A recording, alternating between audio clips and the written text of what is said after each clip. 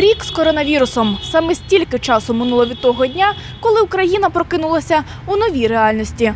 Саме тоді розпочався відлік боротьби медиків зі світовою пандемією коронавірусу. Ми запитали у народних експертів, якої вони були думки, коли все це тільки почалося, і що вони думають про ковід зараз. Фейк. Думали, що фейк, так? А чи надовго ось ця пандемія? Це як вважали тоді? Затягнеться. М, Так и думала, что надолго. Потому что так, так, так не играется, если так думать, типа на короткий период.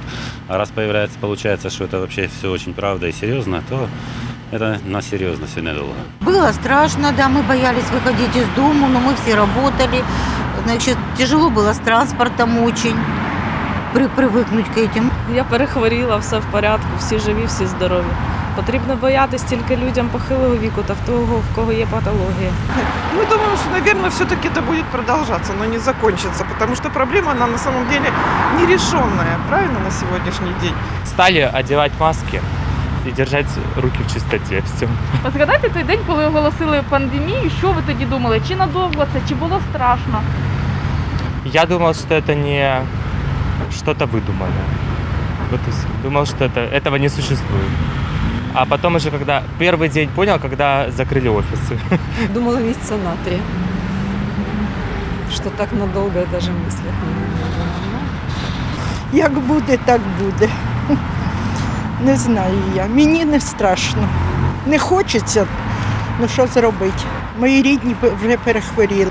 Ну, зараз треба берег, берегтися, а спочатку не було такої думки.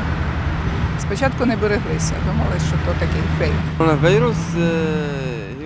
Коронавірус є великою проблемою для економіки України.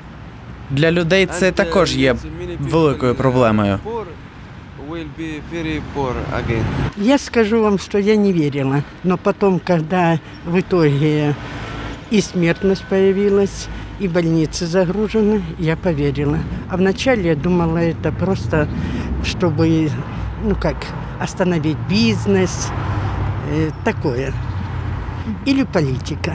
Как изменилось? Да все нормально. Нужно к этому относиться спокойно, с пониманием делать. Если находишься э, в общественном месте, одевать маску и все в порядке.